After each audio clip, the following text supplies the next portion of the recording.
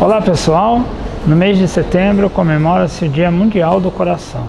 Eu diria que a principal doença do coração é a que mais mata no mundo, que é o infarto agudo do miocárdio. Porém, para que a gente ou o paciente tenha um infarto, ele necessita, antes disso, que tenha os fatores de risco é, alterados, como o colesterol alto, a hipertensão arterial, ou ele seja um tabagista, sedentário, ou tenha diabetes. Esses fatores de risco alterados vão levar à doença aterogênica ou aterosclerose, o que vai propiciar um maior risco de infarto e de AVC nesses pacientes.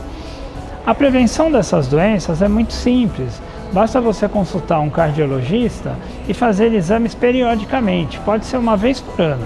É muito importante que você siga as orientações do seu médico. Um exemplo disso é a dieta, mas principalmente uh, o uso da medicação. Quando o seu médico determinar que você deve tomar um remédio para colesterol o resto da vida, é porque a, a, a, etiologia desse colesterol não deverá ser tratada apenas com dieta e exercício, mas precisará de um controle medicamentoso para baixar o seu nível de colesterol. Assim, você vai prevenir e bastante o risco de infarto.